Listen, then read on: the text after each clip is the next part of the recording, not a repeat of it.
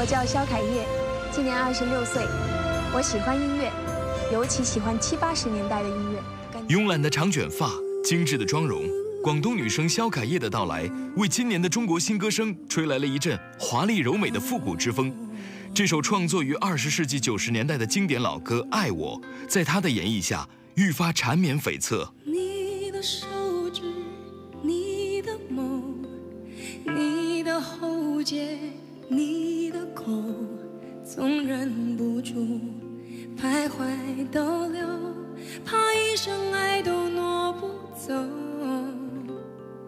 你的笑容，你的愁，你的心情，你的梦，总忍不住窥探追究。在生命的旅途中，我想与你甘甜与共。爱我，没有你，我变得好贫穷。中少你左右，我想我什么价值也没有。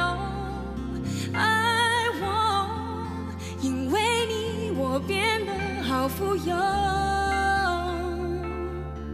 在你怀中被爱占有，那种满足是一切比不过。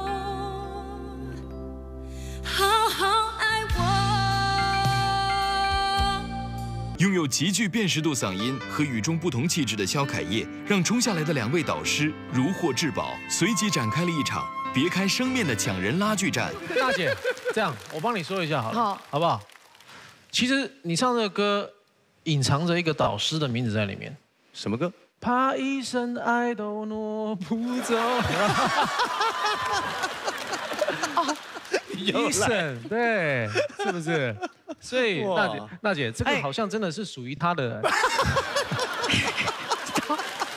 这电视机前的各位听众、各位观众，周杰伦，友谊的小船说翻就翻。最终，陈奕迅老师成功将他收入战队。而作为一名致力于原创的酒吧驻唱歌手，肖凯叶和自己的乐队一起编版的《至少还有你》，则让更多人看到了他丰富多元的音乐风格。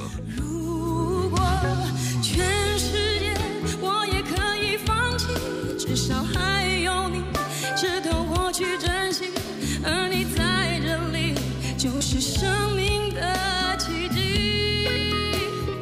也许全世界我也可以放弃，只是不愿意失去你的消息，你掌心的痣，我总记得在哪里。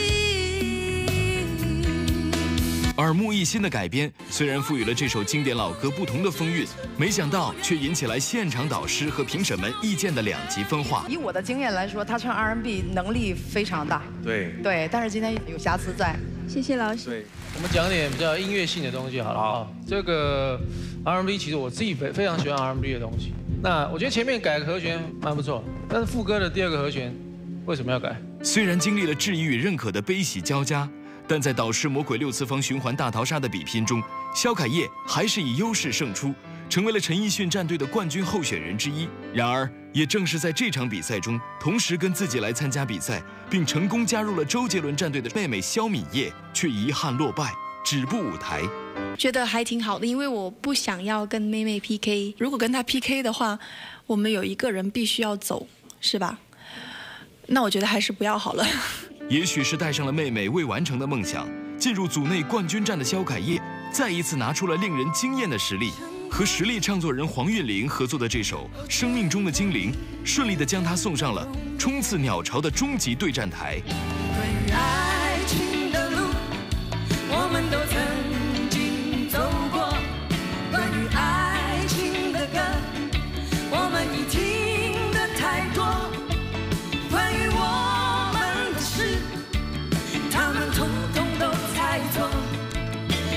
心中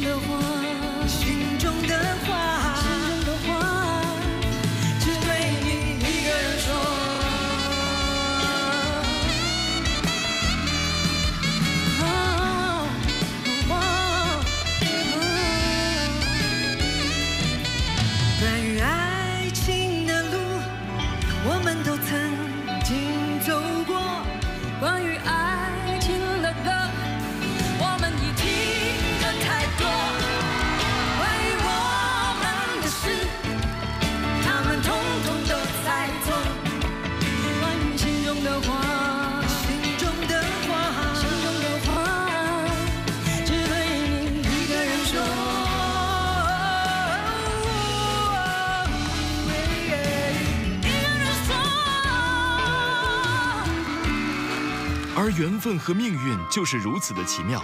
上一轮的大逃杀，妹妹肖敏烨对战张泽，而在距离组内冠军一步之遥的最后一战，肖凯烨的对手居然也是张泽。一边是帅气有型的 B-box 小王子，我一脚踢飞，一转转红红的葫芦冰糖。我一脚踢飞，一幕幕的回忆，散在月光。一间老老的老酒，一段旧旧的旧时光。我可以给你们一张签名照，拿去想象。我说啊，冰封就该这冰霜，屋檐就该当月光，江湖就该开扇窗，评剧就该耍花枪，炸下马步，我不要慌。一边是人美歌甜的气质女神，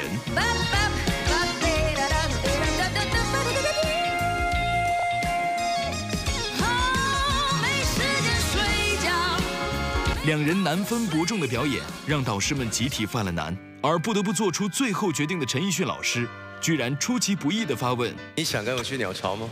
想啊，脱口而出的这一个字，简短有力。与其说是一份进击的野心，不如说是一份对音乐的执着。让我们一同期待这个为音乐而生、拥有一颗忠于初心的老灵魂的九零后女孩，在鸟巢。